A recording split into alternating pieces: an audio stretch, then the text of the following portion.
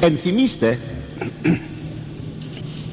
όταν αναφερθήκαμε στην ανακαίνιση του σύμπαντος εκεί που λέγει ο Απόστολος Πέτρος στη δευτέρα του επιστολή στο τρίτο κεφάλαιο ότι στοιχεία δεκαυσούμενα λυθίσονται και γη και τα εναυτή έργα κατακαΐσετε ουρανοί πυρούμενοι λυθίσονται. Και στοιχεία καυσούμενα τίκεται. Καινούς δε ουρανούς και γιν καινήν κατά το επάγγελμα αυτού προσδοκόμεν ενής δικαιοσύνη κατοικεί. Αυτό το λυθίσονται σας είχα πει ήδη από την περασμένη φορά ότι πρέπει λιγάκι να το προσέξουμε. Τι σημαίνει ότι τα στοιχεία θα λυθούν; Και ενθυμίστε ότι στοιχεία για τον Άγιο Νικόδημο τον Αγιορείτη είναι εκείνα τα οποία επιστεύονται κατά την αρχαιότητα και που απαρτίζουν την δημιουργία. Το είδωρ, το πυρ, ο αΐρ και η γη. Επειδή όμως λέγει ότι και γη και πάντα τα εναυτή κατακαΐσετε πιθανοτέρα ερμηνεία είναι ότι τα στοιχεία της δημιουργίας είναι ο ήλιος, η σελήνη, οι αστέρες. Και αυτή η γνώμη είναι φαίνεται πλέον επιτυχής αλλά αυτό το λυθίσονται τα στοιχεία είτε πρόκειται περί των ουρανίων σωμάτων είτε πρόκειται για τα στοιχεία αυτά που υπάρχουν εδώ πάνω στην γη. Τα γνωστά μας 92 στοιχεία. Δεν ομιλώ για τα στοιχεία εκείνα τα εργαστηριακά και τα βραχύβια εξάλλου. Ότι φαίνεται ότι θα κατακαούν δηλαδή θα αλλάξουν σύνθεση και θα γίνουν κάτι άλλο. Τι θα είναι αυτό το άλλο δεν το γνωρίζουμε. Είναι εκείνο που λέγει ο Απόστολος Παύλος ότι ανθρώπινο μάτι δεν είδε ανθρώπινο αυτή δεν άκουσε. Επικαρδίαν ανθρώπου λέγει ουκανεύει δηλαδή δεν στάθηκαν αυτά αντικείμενων επιθυμίας. Επειδή ακριβώς δεν, δεν μπόρεσαν να μείνουν ε, να περάσουν μέσα στην αντίληψη του ανθρώπου επειδή είναι άρρητα. Και ως άρρητα δεν είναι δυνατόν να κατανοηθούν. Λέγει ήκουσα άρρητα ρήματα λέγει ο Απόστολος Παύλος. Αυτά όμως όλα είναι εκείνα τα οποία έχει ετοιμάσει ο Θεός σε εκείνους που τον αγαπούν. Α ο Θεός ετοίμασεν λέγει ο Απόστολος Παύλος της αγαπώσιν αυτών αλλά οι φράσεις ότι όλα θα καούν αυτά που είναι πάνω στην γη και γη και πάντα τα εναυτή ό,τι είναι επάνω στην γη. Θα μπορούσαμε να πούμε ότι είναι τα έργα της φύσεως της επιστήμης της τέχνης και γενικά του πολιτισμού. Όλα αυτά θα καούν. Σκεφτήκαμε αλήθεια ποτέ ότι ό,τι υπάρχει επί του προσώπου της γης θα παρέλθει θα κατακαεί δεν θα υπάρξει τίποτε. Βέβαια είναι αξιέ, αξιέπαινη η προσπάθεια. Ο άνθρωπος στην επιστήμη του να ψάχνει να βρει πολλά πράγματα επάνω στην γη πάρτε το θέμα της αρχαιολογίας ή πάρτε το θέμα της παλαιοντολογίας. Μέσα στα έγκατα της γης βρίσκουμε το παρελθόν. Είτε σαν, σαν φύση φυτά και ζώα που έζησαν κάποτε είτε σαν πολιτισμός. Σκάβουμε και τα βρίσκουμε. Η παλαιοντολογική σκαπάνη ή η αρχαιολογική σκαπάνη τα φέρει στο φως. Δεν ξέρω αν ποτέ έχετε πάει σε κάποιο μουσείο να δείτε ε, της παλαιοντολογίας ευρήματα ή να δείτε ακόμη θαυμάσια πράγματα από τον ορυκτών πλούτων της γης ή ακόμη από τα έργα του πολιτισμού από τα πρώτα εκείνα έργα που ποτέ ο άνθρωπος κάθισε να φτιάξει. Μέχρι τα σπήλαια της Ισπανίας και της Γαλλίας που βρίσκομαι εκεί ε, στους τοίχους ζωγραφιές που έκαναν οι πρώτοι άνθρωποι οι παλαιοί άνθρωποι. Όλα αυτά είναι αξιέπαινα και αξιόλογα. Μας δείχνουν την ιστορία μας. Δεν είναι μάταια εφόσον γνωρίζοντας δια της επιστήμης. Την προϊστορία μας θα μπορούσαμε να καθοδηγηθούμε πιο κοντά στο Θεό. Αν η έρευνα που κάνουμε θα μπορούσε πράγματι να μας βοηθήσει στο να γίνουμε πνευματικότεροι άνθρωποι πνευματικότεροι όχι με την ευρία έννοια της λέξεως αλλά με την στενή έννοια της λέξεως. Δηλαδή να έχουμε το πνεύμα το Άγιον τότε δεν είναι μάταια ούτε η τέχνη ούτε η επιστήμη ούτε ο πολιτισμός. Αν όμως αυτά απομακρύνουν τον άνθρωπο από το Θεό μπορεί να γίνονται ένα επιχείρημα αυτά για να κλωτσούν και να λιθοβολούν το Θεό όταν επί παραδείγματα να πάσα στιγμή πιπιλίζεται στα σύγχρονα σχολιά μας η θεωρία της εξελίξεως καθιονδήποτε τρόπον. Και τονιζομένοι να απομακρύνονται οι μαθητές από την διδασκαλία της, του Ευαγγελίου και ότι ο άνθρωπος είναι κατασκεύασμα του Θεού και να δέχονται ότι ο άνθρωπος είναι της τύχης και της εξελίξεως κατασκεύασμα δεν νομίζετε ότι αυτό απέχει πάρα πολύ από το να βοηθήσει τον άνθρωπο να βρει το Θεό; Πάντως ό,τι και να είναι όλα αυτά θα καούν μια ημέρα. Θα λυθούν μια ημέρα. Δεν θα υπάρχει τίποτε. Όλα αυτά αποτελούν ένα σχήμα του κόσμου τούτου. Μπορεί να επενέσω με έναν καλλιτέχνη ή έναν επιστήμονα γιατί εσπούδασε, γιατί έφτασε σε ύψη γνώσεως διότι προσέφερε τις υπηρεσίες του. Αλλά και αυτό είναι ένα σχήμα. Θα μείνει μόνο η πίστη του και η αγάπη του. Αυτό θα μείνει αν εγώ σαν ερευνητής μικροβιολόγος κατάφερα να βρω ένα μικρόβιο και να πολεμηθεί μια ασθένεια και το κάνω αυτό για τη δόξα του Θεού και την αγάπη των συνανθρώπων μου αυτό θα μείνει. Αυτό θα μείνει. Είναι ακριβώς εκείνο που λέγει ο Κύριος. Σας βεβαιώνω ένα ποτήρι νερό δοσμένο στο όνομά μου χαμένο δεν είναι. Θα έχετε το μισθό σας. Με άλλα λόγια αν η επιστήμη, η τέχνη, ο πολιτισμός δεθούν με τον Χριστόν τότε καταξιώνονται. Εάν δεν δεθούν με τον Χριστόν τότε απαξιώνονται. Ξαναλέγω όμως ότι εφόσον είναι σχήματα του παρόντος αιώνος μη λυπούμεθα αγαπητοί μου αν δεν καταφέραμε κάτι. Επιτρέψατε μου να σας πω έτσι από αγάπη μη πιέσετε υπερβολικά τα παιδιά σας.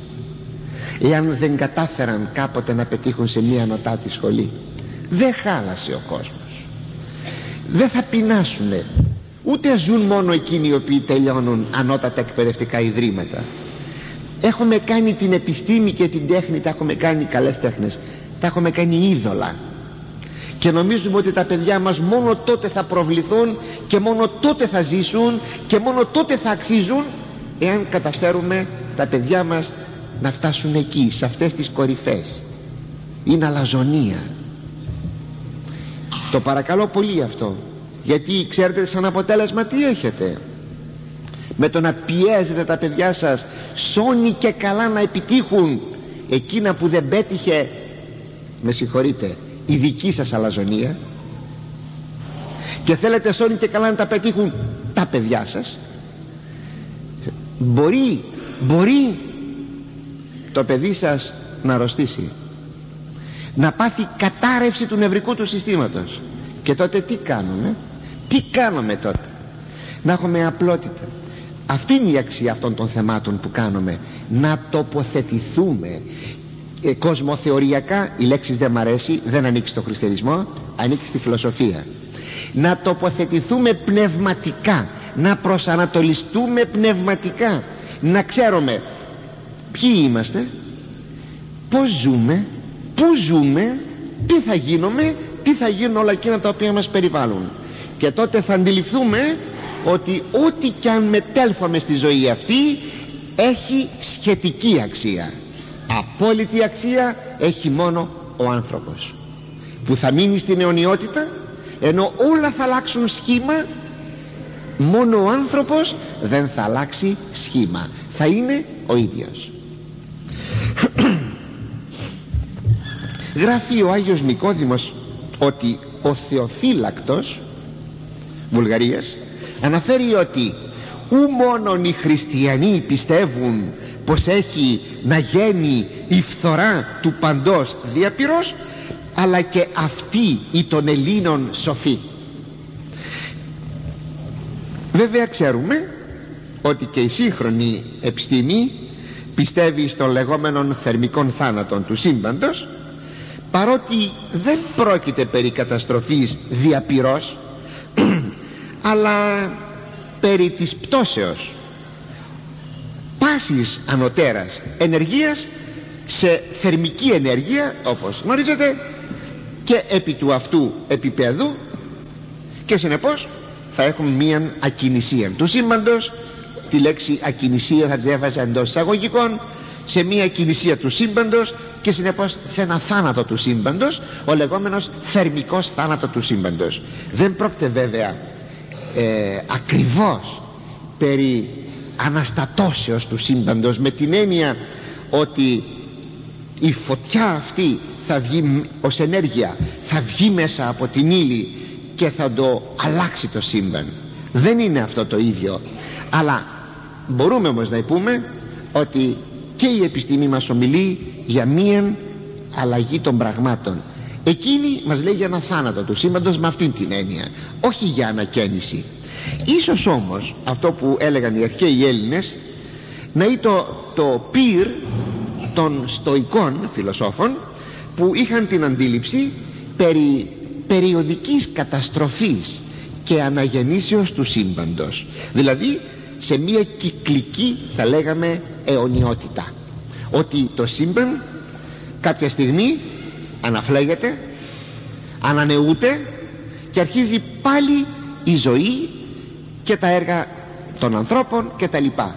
Αλλά πάλι ύστερα από κάποιο καιρό ε, ξανά αναφλέγεται και έχουμε μία γύρανση και μία ανανέωση.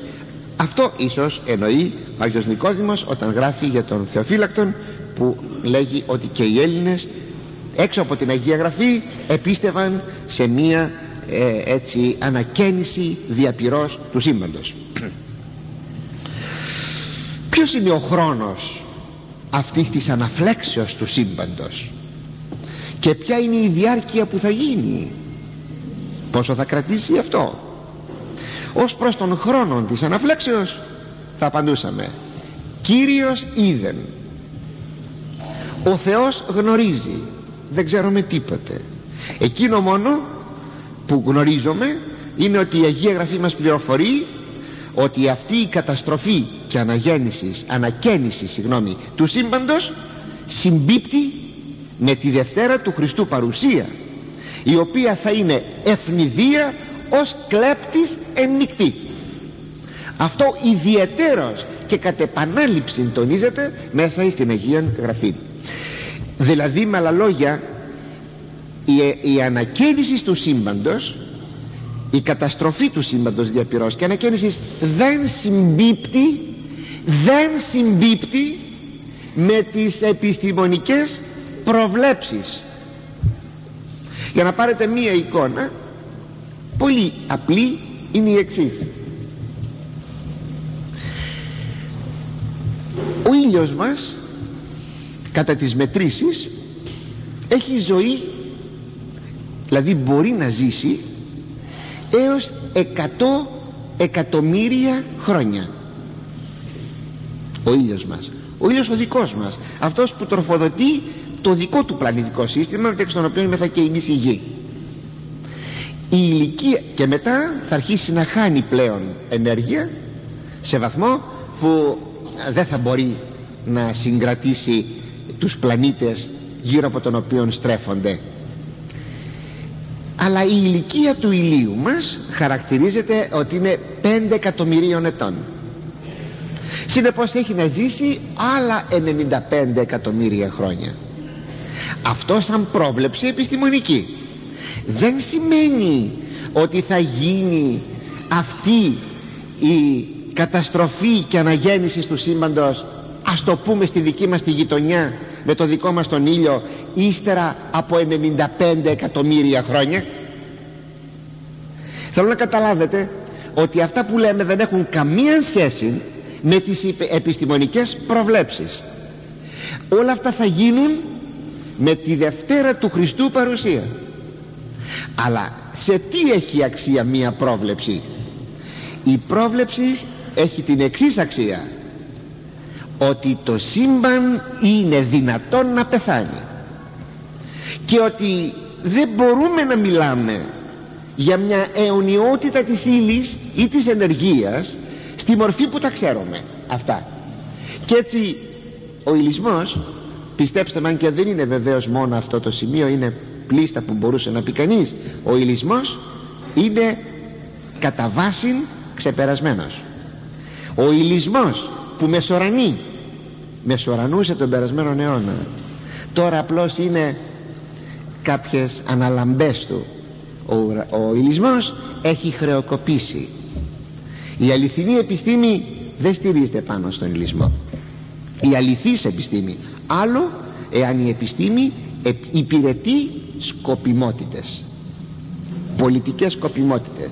Αν υπηρετεί τότε αλλάζει παράγραφος. Η αληθής επιστήμη όμως ε, δεν μπορεί να μείνει στον ηλισμό σας ξαναλέγω άλλη μια φορά διότι ο ηλισμός είναι πλέον θεωρείται ξεπερασμένος. Ωστόσο ακόμη μας πληροφορεί ο Απόστολος Παύλος ότι η Ανάσταση των νεκρών η αλλαγή ζώντων και νεκρών από τη φθορά στην αυθαρσία η ανάληψη των δικαίων και εν συνεχεία η ανάφλεξη του σύμπαντος θα είναι ακαριέα και δηλαδή σε χρόνο μηδέν. Για να μας δώσει μια εικόνα ότι αυτά θα γίνουν σε χρόνο μηδέν παίρνει μίαν θεωρητική διατύπωση α Κορινθίους 15,51 παίρνει μία θεωρητική διατύπωση και μία πρακτική ή εποπτική εικόνα. Και μας λέγει ότι αυτά θα γίνουν ένα ατόμο τι είναι το άτομο; Δηλαδή σε ένα άτομο άτμητο κομματάκι του χρόνου. Όπως μπορούμε να λέμε για ένα άτμητον ακομάτιαστο κομματάκι της ύλης, έτσι θα μπορούσαμε να πούμε και ένα άτμητον του χρόνου. Και το λέγει ένα τόμο λέει ο Απόστολος Παύλος. Δηλαδή σε χρόνο που δεν μπορεί να κοπεί πιο πέρα από ό,τι μπορεί να κοπεί. Θα λέγαμε το δευτερόλεπτο είναι μεγάλος χρόνος. Το άτομο του χρόνου είναι θέλετε να πείτε το εκατομμυριοστόν του δευτερολέπτου. Θέλετε να πείτε το δισεκατομμυριοστόν του δευτερολέπτου. Σημαίνει πολύ μικρός χρόνος. Για να δώσει όμως μια εικόνα διότι δεν μπορούσε να είναι κατανοητή η έκφρασή του ένα τόμο ούτε αν μιλούσε για το χρόνο ούτε αν μιλούσε για την ύλη για την ύλη μίλησε ο Δημόκριτος. Εξάλλου οι λέξεις άτομων στη φύση ε, ως προς την ύλη ανήκει στον Δημόκριτον. Θα λέγαμε ότι δεν θα μπορούσε ούτε ο ίδιος ο Δημόκριτος να συλλάβει τι είναι το άτομο που σήμερα ξέρουμε. Πόσο μικρό είναι αυτό που σήμερα ξέρουμε. Ούτε ο Δημόκριτος πως λοιπόν θα μπορούσε να παρασταθεί αυτό με μια εικόνα υποπτική για να γίνει κατανοητός ο Απόστολος Παύλος; Είπε ευθύς μετά το ένα τόμο είπε εν ρηπή οφθαλμού τι είναι η ρηπή του οφθαλμού; Είναι το ανοιγόκλημα των ματιών. Φυσικά ο χρόνος του ανοιγοκλίματος του ματιού είναι πολύ μεγάλος. Ξέρετε ότι είναι κάπου στο 1 έκτον του δευτερόλεπτου πολύ μεγάλος είναι ο χρόνος αλλά δεν είχε άλλη εικόνα και είπε εν ρηπή οφθαλμού δηλαδή όπως ανοιγοκλίνουν τα μάτια μου και τελικά δεν χάνω την εικόνα που βλέπω. Εγώ ως την ώρα σας ομιλώ αναμφισβήτητα ανοιγοκλίνω τα μάτια μου όπως και εσείς τα ανοιγοκλίνετε. Ούτε εγώ χάνω την εικόνα τη δική σας ούτε εσείς κάνετε την εικόνα τη δική μου. Που σημαίνει ότι το ανοιγόκλημα είναι πάρα πολύ ταχύ. Παρά τα αυτά είναι όχι πολύ ταχύ η εντύπωση είναι εκείνη που τελικά με κάνει να νομίζω ότι είναι ταχύ. Δηλαδή συμπέρασμα. Σε χρόνο μηδέν θα γίνουν όλα αυτά αγαπητοί. Σε χρόνο μηδέν. Είναι καταπληκτικό. Υπάρχει μια άποψη δεν ξέρω αν την έχετε ποτέ διαβάσει δεν ξέρω αν είναι σωστή πάντως επιστημονική είναι ότι και το σύμπαν έγινε σε χρόνο μηδέν ότι ήλθε εκ του μηδενός εις το είναι σε χρόνο μηδέν. Ότι η διαμόρφωσής του έγινε σε μακρύ χρονικό διάστημα αλλά στην ύπαρξη ήρθε σε χρόνο μηδέν. Αν είναι αληθές αυτό που λέγει η επιστήμη αν είναι αληθές τότε και η αλλαγή του σε χρόνο μηδέν. Αλλά η αλλαγή του είναι κατατεθειμένη στην Αγία Γραφή όχι ως επιστημονική θεωρία αλλά ως αποκεκαλυμμένη αλήθεια που την αποκαλύπτει ο ίδιος ο Χριστός. Το είπε ο Απόστολος Παύλος εν λόγω Κυρίου έχω να σας πω ένα μυστήριο. Εν λόγω Κυρίου ότι ο Χριστός το είπε αυτό. Αλλά στη συνέχεια ο Ευαγγελιστής Ιωάννης αγαπητοί στο όραμά του με την φυγή ουρανού και γης και την παρουσία καινούριου ουρανού και καινούρια γης δηλαδή ο ίδιος το ίδιο το σύμπαν που περνάει από τη φθορά στην αυθαρσία μας σημειώνει και μας λέγει και η θάλασσα ούτε στην έτη. Και η θάλασσα δεν υπάρχει πια δηλαδή ο Ιερός Ευαγγελιστής δεν βλέπει στην καινούργια γη θάλασσα. Ήδη αναφέραμε τι γράφει ο Άγιος Νικόδημος σχολιάζοντας τον Μητροφάνη, τον Θεοφύλακτον και τον Οικουμένιον. Περασμένη φορά το λέγαμε ότι η θάλασσα δεν θα υπάρχει διότι δεν θα την έχει ανάγκη ο άνθρωπος. Ούτε και οι απαιτήσεις της καινής κτίσεως αλλά η θάλασσα ακόμη είναι ένα σύμβολο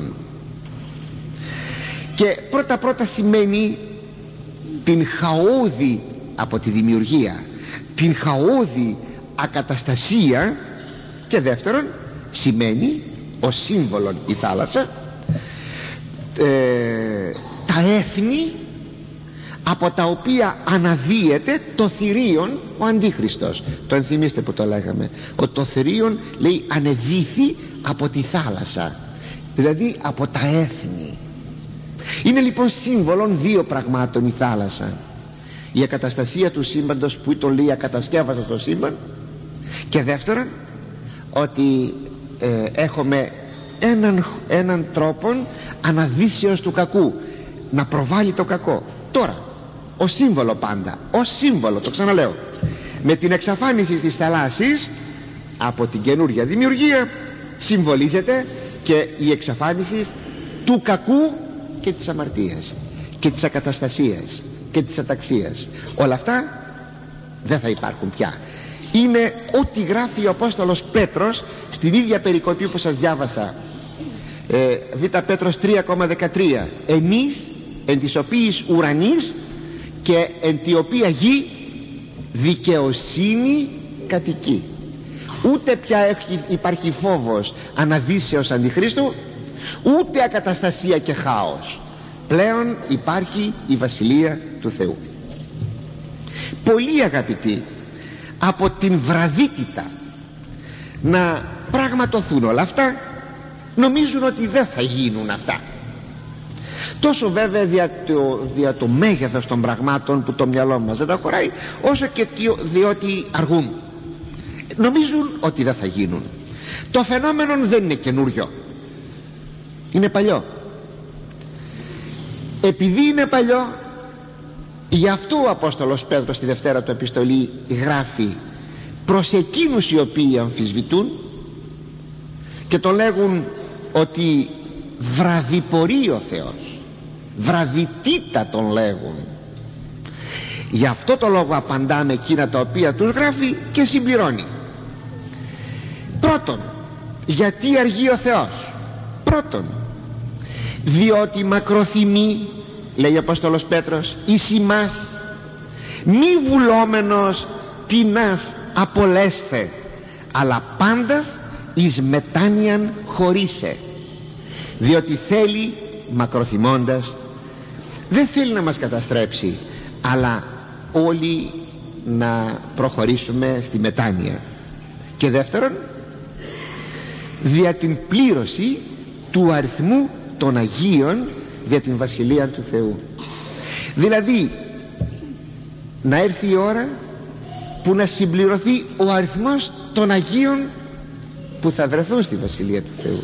Πως θα ξέρετε στη Θεία Λειτουργία όταν τελειώσει ο καθαγιασμός των τιμίων δώρων λέμε εις πλήρωση, εις πλήρωση λέγει ε, της Βασιλείας σου Κύριε τελούμε το μυστήριο θα πει εις πλήρωση να γεμίσει η Βασιλεία σου από Αγίους. Όταν θα γεμίσει η Βασιλεία του Θεού από Αγίους ο αριθμός των οποίων είναι γνωστός μόνον εις τον Θεό τότε θα έρθει ο Χριστός. Και τότε θα γίνει η Δευτέρα του παρουσία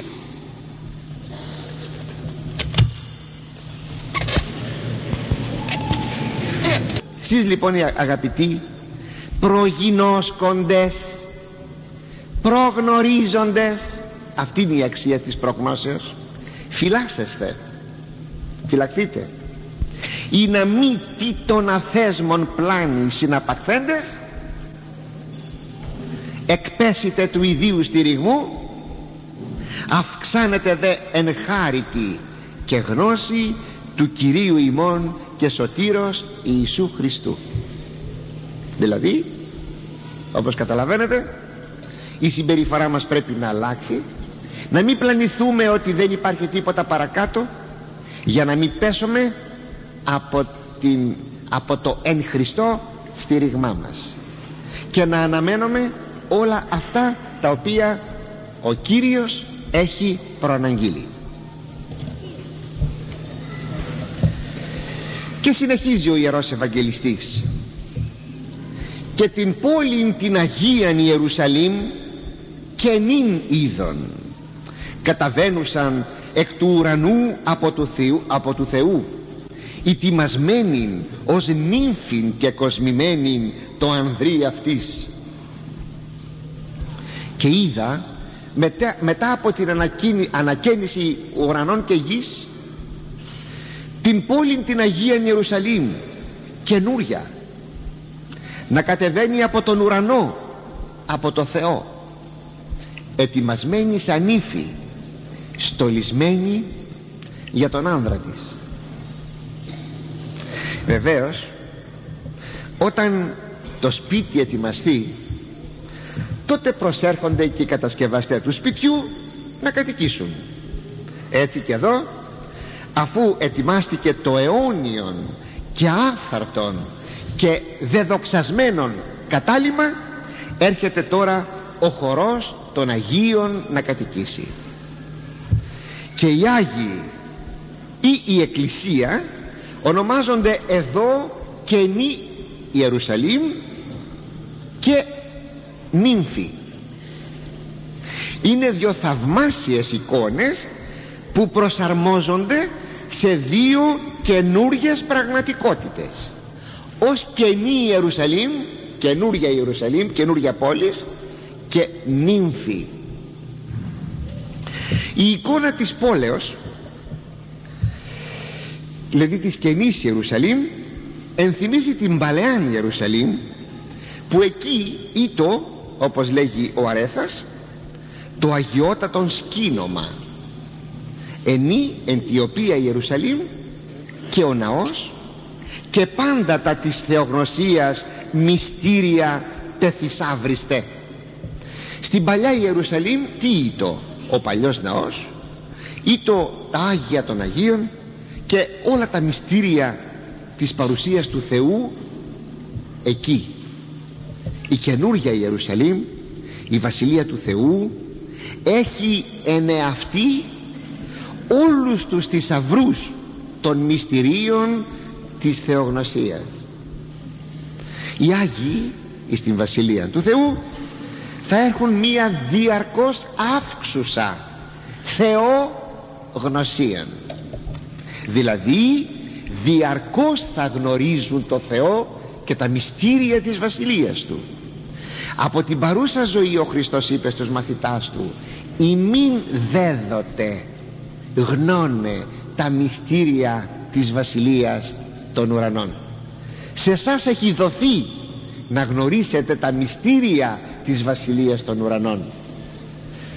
Αλλά μέσα σε αυτήν την Βασιλεία του Θεού στην καινούρια πόλη και όλα τα μυστήρια της ιστορίας σαν παρελθόν θα ξετυλίγονται στα μάτια των Αγίων και θα βλέπουν πλέον με σαφήνεια όλες τις ενέργειες του Θεού μέσα στην ιστορία.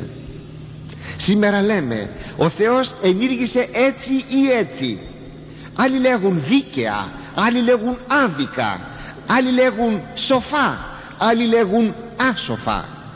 Όταν θα βρεθούν στην καινούργια πόλη στη Βασιλεία του Θεού οι κατοικοί της οι Αγίοι εκεί θα βλέπουν το παρελθόν να ξετυλίγεται μπροστά τους. Δηλαδή οι ενέργειες του Θεού μέσα στην ιστορία.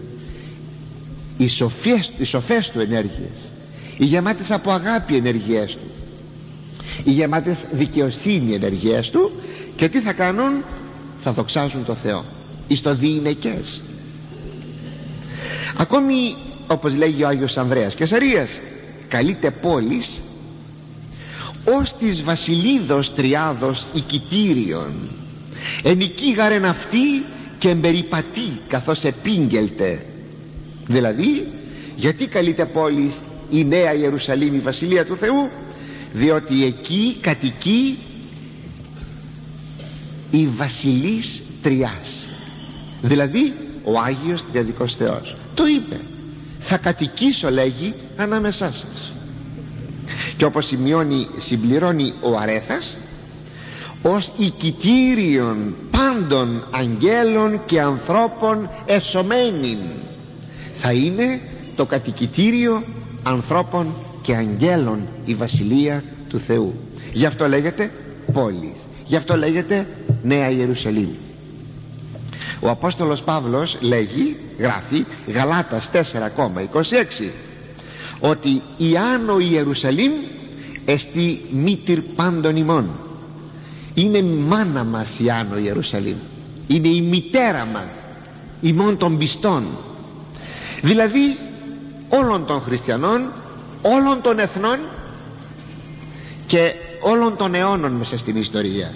Όσοι πίστεψαν στον Άγιον Τριαδικών Θεών στην ενανθρώπιση του Ιού Του προσεδόκησαν στη Βασιλεία του Θεού και πολιτέθησαν σύμφωνα με τους νόμους αυτής της πολιτείας του Θεού.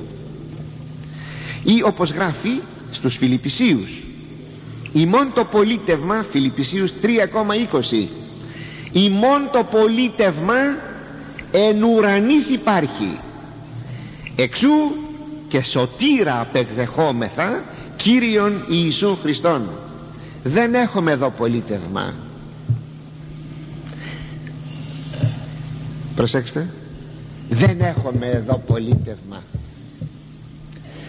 Τα πολιτεύματα τα γήινα είναι γήινα και δεν έχουν καμία σχέση με το πολίτευμα του ουρανού. Αν είμαι αληθινός χριστιανός θα πολιτευθώ και σαν γήινος καλός πολίτης της πολιτείας μέσα στην οποία βρίσκουμε αλλά δεν μπορεί όμως ο χριστιανισμός να γίνει πολιτιακό σύστημα και πολιτικό σύστημα. Το πολίτευμά μας υπάρχει στον ουρανό λέγει ο Απόστολος Παύλος εν ουρανής από τους οποίους ουρανούς και περιμένουμε σωτήρα τον Κύριον Ιησούν Χριστόν.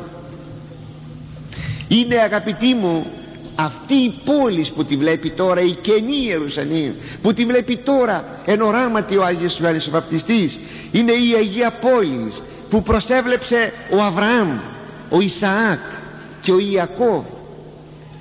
Παρότι τους έφερε ο Θεός τον Αβραάμ αν κι ήτανε όπως λέει η Αγία Γραφή σφόδρα πλούσιος και ο Ισαάκ σφόδρα πλούσιος και ο Ιακώβ σφόδρα σφόδρα πλούσιος. Όμως ακούστε τι λέει για αυτούς ο Απόστολος Παύλος Εβραίους 11,9 έως 10 πίστη δηλαδή με πίστη δοτική. Αβραάμ παρόκησεν εις την γη της επαγγελίας ως αλωτρίαν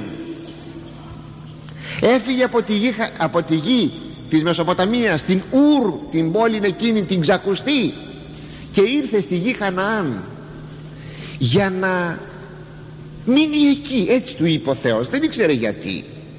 Του λέγει πάρε τα υπάρχοντά σου άφησε τους συγγενείς σου άφησε την πατρίδα σου και έλα να σου δείξω που θα μείνεις και όταν έφτασε ο Αβραάμ κάθε τόσο περιμένει από το Θεό τέλος πάντων που θα μείνει.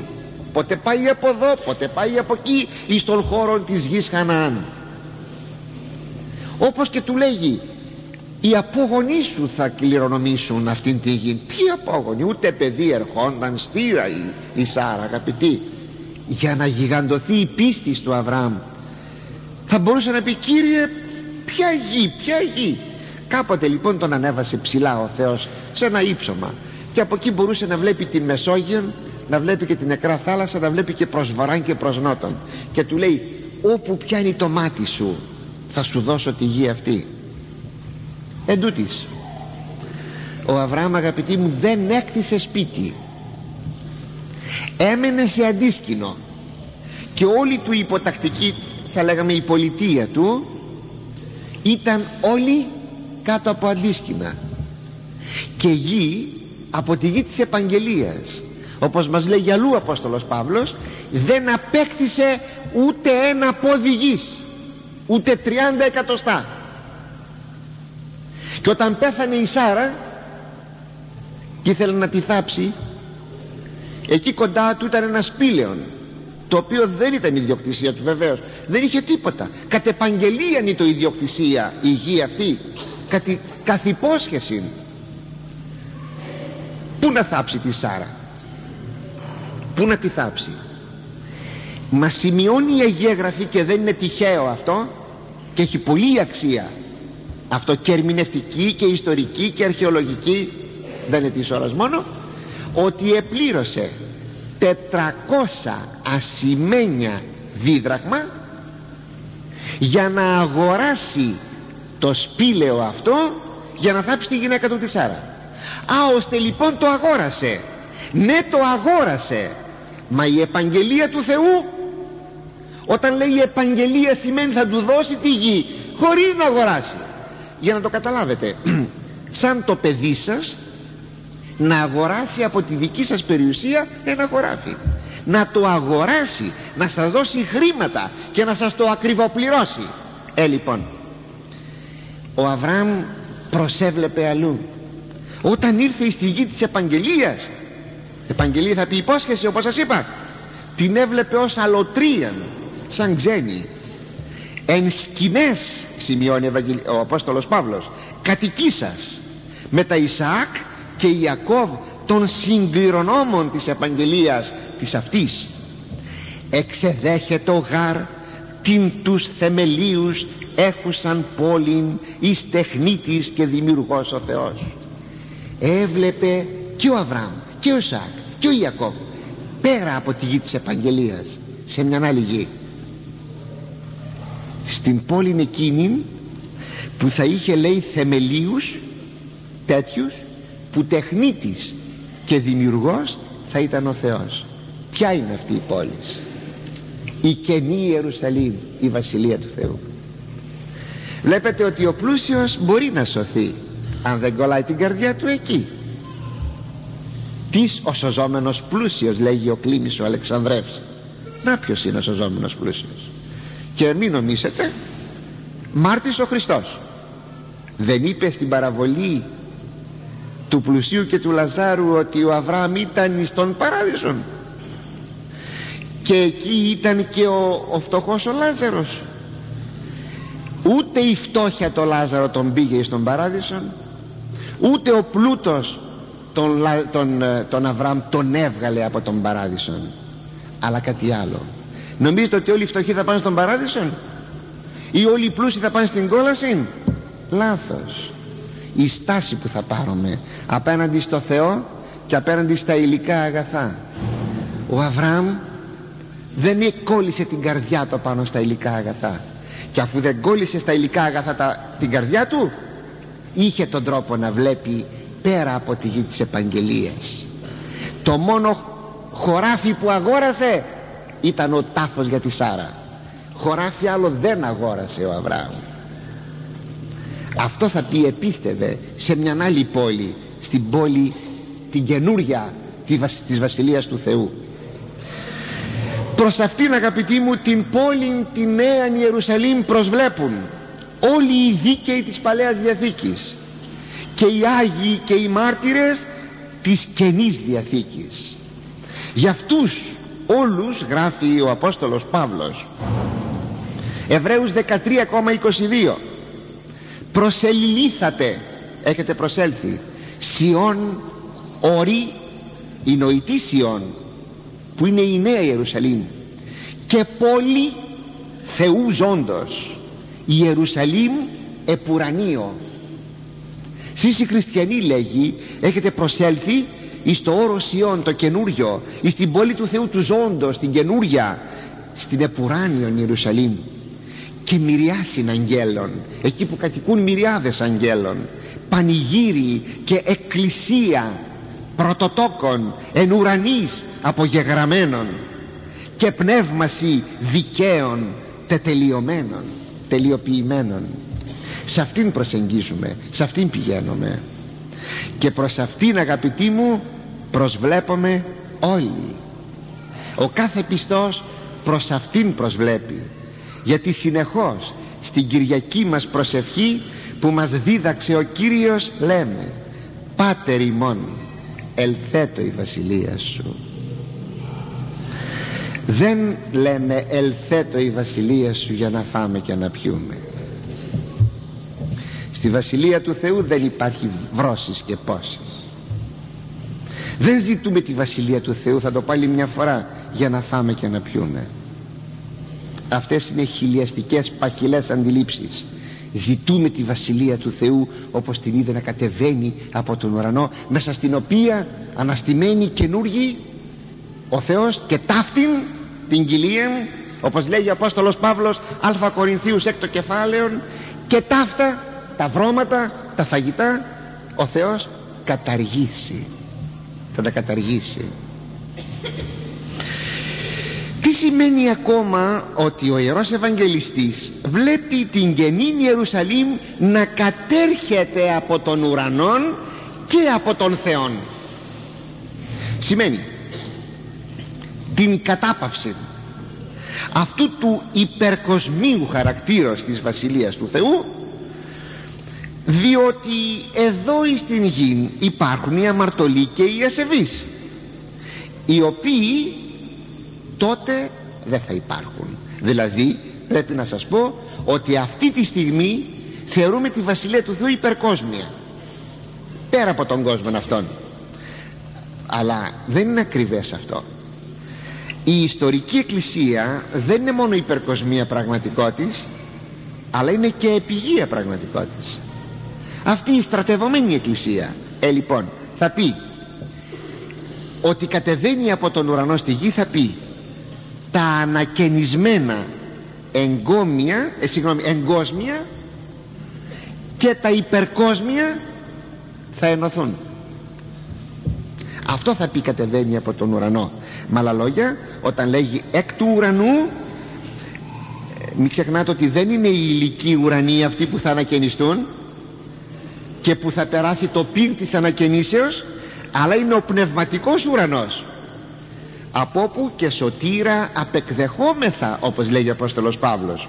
Είναι λοιπόν ο πνευματικός ουρανός που εκφράζει την προέλευση της Βασιλείας του Θεού όταν λέγει ότι κατεβαίνει από τον ουρανό. Την προέλευση. Και όταν λέγει από του Θεού εκφράζει την καταγωγή της Βασιλείας του Θεού άλλο καταγωγή και άλλο προέλευση. Από τον ουρανό έρχεται και από το Θεό έρχεται διότι δεν νοείται η Βασιλεία του Θεού χωρίς το Θεό. Όπου ο Θεός εκεί και η Βασιλεία του. Αλλά μένει ακόμη μία εικόνα. Είναι η εικόνα της νύμφης. Γράφει ο Άγιος Ανδρέας. Νύμφη δε ως κολωμένη το δεσπότη και συναπτωμένη εις άκραν και αδιάστατον συνάφιαν και κοσμημένην δε ως έσωθεν κατά των ψαλμοδών την δόξαν και την ώραν εν την ποικιλία των αρετών έχουσα. Νύμφη δε διότι λέει συνάφθηκε ενώθηκε με τον δεσπότην σε άκρα και αδιάσπαστη συνάφεια. Στολισμένη από μέσα όπως λέγει ο ψαλμοδός τη δόξα και την ώραν την ομορφιάν στην ποικιλία των αρετών της. Και ποιος είναι ο νυμφίος; Είναι ο Ιησούς Χριστός. Είναι το αρνίον που ήρμωσε τον εαυτόν του με την εκκλησία των ανθρώπων ή καλύτερα θα λέγαμε εξεπίδησε η νέα κτήση των ανθρώπων η αναγέννησή των από την πλευρά που ενήχθη εις των σταυρών σε ένα παλιό τυπικό συριακό συγκεκριμένα της ακολουθίας του γάμου είναι γραμμένο το εξής. Ο Κύριος ημών Ιησούς Χριστός ο οποίος ενυμφεύθη την Εκκλησία και ο οποίος δια του αίματός του της συνέστησε μίαν πρίκα και της εσφυριλάτησε ένα δαχτυλίδι με τα καρφιά της σταυρώσεώς του. Η έννοια της νύμφης αγαπητή μου εκκλησίας ή του λαού του Θεού και του νυμφίου Χριστού είναι διάχυτος μέσα στην Παλαιά Διαθήκη και στην Καινή Διαθήκη. Σας υπενθυμίζω το θαυμάσιο εκείνο βιβλίο ασμασμάτων και στην Καινή Διαθήκη σας υπενθυμίζω τις παραβολές του γάμου του Ιού του Βασιλέως την παραβολή των δεκαπαρθένων και ό,τι άλλο. Προπαντός όμως εκείνα τα θαυμάσια λόγια που λέγει Ευαγγελιστή συγγνώμη ο Άγιος Ιωάννης ο Βαπτιστής. Ιωάννης 3,21 ο έχων την νύμφην νυμφίος εστίν αυτός που έχει την ύφη είναι νυμφίος ο δε φίλος του νυμφίου ο εστικός και ακούων εγώ δηλαδή ο Ιωάννης χαρά χέρι δια την φωνή του νυμφίου. Αυτή είναι η χαρά η εμή πεπλήρωτε η δική μου αυτή χαρά έχει γεμίσει. Όταν βλέπω τον νυμφίον με την νύμφη εκκλησία των Χριστών με την εκκλησία. Η έννοια του γάμου ενανθρωπίσαντος Ιού του Θεού και ανθρώπων είναι τόσο έντονος και τόσο δεσπόζουσα ώστε και αυτός ακόμη ο φυσικός γάμος δύο ανθρώπων να είναι τύπος εκείνου του γάμου γι' αυτό γράφει ο Απόστολος Παύλος το μυστήριον τούτο ποιο; Ενώσεως Χριστού και Εκκλησίας. Μέγα εστί. Εγώ δεν λέγω εις Χριστόν και εις την Εκκλησία γι' αυτό γράφει ο Απόστολος Παύλος Εφεσίους 5,25 οι άνδρες αγαπάτε τας γυναίκας σε αυτόν να και το υπόδειγμα καθώς και ο Χριστός ηγάπησε την Εκκλησία τύπος λοιπόν η αγάπη του ανδρός προς την γυναίκα είναι η αγάπη του Χριστού προς την Εκκλησία. Και αυτόν παρέδοκεν υπέρ αυτής. Τον εαυτό του παρέδοκε για αυτήν. Ή να παραστήσει αυτήν εαυτό στον εαυτό του πλάι ένδοξον την εκκλησίαν. Μη έχουσαν σπήλων λεκέ η ρητίδα ή τι των διούτων πάναγνη καθαρή. Αλίνα ή αγία και άμωμος τι θέλει να δηλώσει όμως; Η εικόνα του γάμου. Όπως σας είπα προηγουμένως που λέγει ο Άγιος Ανδρέας την άκραν και αδιάστατον συνάφιαν Χριστού και Εκκλησίας κατά τρόπο αγαπητοί μου θαυμάσιον ο Άγιος Σιμεών ο νέος θεολόγος εις τα ερωτικά του εκείνα προς τον Χριστόν ως νύμφη προς νυμφίων ποίηματά του γράφει τα εξής. Είναι από, το, από τον έβδομον λόγο του στα ποίηματά του. Περιπατώ και καίομαι. Ζητώ ο δεκακίσε και ουδαμού τον εραστήν ευρίσκω της ψυχής μου και περιβλέπομαι συχνός. Ειδήν των ποθητών μου κακίνος ως αόρατος ου χωράτε μη όλος ότε δε άρξω με θρηνήν. Ως απελπίσας τότε οράτε μη και βλέπει με ο καθορών τα πάντα. Θαυμάζον καταπλήττομαι κάλους στην ευμορφίαν. Όλος περιπλεκόμενος όλον καταφυλί με όλον δε δίδωσιν αυτόν εμή το αναξίο. Και εμφορούμε της αυτού αγάπης και του κάλους και ειδονής και γλυκασμού επίμπλαμε του Θείου. Μεταλαμβάνω του φωτός μετέχω και της δόξης και λάμπει μου το πρόσωπον ως και του ποθητού μου. Και άπαντα τα μέλη μου γίνονται φωτοφόρα ωραίων ωραιότερος τότε αποτελούμε. Και να σας το αποδώσω σε 15 σύλλαβη μετάφραση. Περιπατώ και καίομαι ζητώντας δόθε κήθε και πουθενά τον εραστή ευρίσκω της ψυχής μου και συχνοβλέπω τρόγυρα να ειδώ τον ποθητό μου και εκείνος σαν αόρατος δεν φαίνεται διόλου και όταν θα αρχίσω να θρηνώ όλος απελπισμένος όλο μπροστά θωρώντας με αυτός πολλά τα βλέπει. Με αγκαλιάζει ολόκληρος και με φυλά ολούθε. Ολόκληρος μου δίνεται σε μέτον τυποτένιο και από την αγάπη του γιωμό και από την ομορφιά του. Και ειδονή και γλυκασμό χορταίνω από τον Θείο. Μεταλαμβάνω από το φως. Μετέχω και στη δόξα. Και λάμπει μου το πρόσωπο σαν και του ποθητού μου. Και σύμπαντα τα μέλη μου γίνονται φωτοφόρα. Και να με ωραιότερος και από τους πιο ωραίους. Αυτή η αγαπητή μου εικόνα του νυμφίου Χριστού και νύμφης Εκκλησίας πολλές φορές θα επαναληφθεί έως το τέλος του βιβλίου της Αποκαλύψεως. Και με αυτή ακριβώς τη θέση θα κλείσει το βιβλίο της Αποκαλύψεως όταν η νύμφη Εκκλησία με το Πνεύμα το Άγιον που μένει στην Εκκλησία θα πούνει στον Χριστόν έρχου ναι έρχομαι ταχύ θα πει εκείνος. Αμήν θα πει η Εκκλησία ναι έρχου Κύριε Ιησού